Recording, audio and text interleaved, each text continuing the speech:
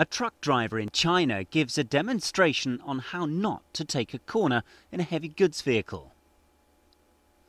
Driving at high speed and trying to beat the traffic lights, his lorry careened to one side and tipped over. The accident in a city in eastern China could have resulted in several fatalities.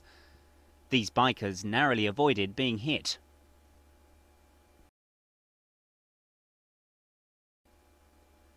Quick thinking saved one individual who stopped his scooter just in time.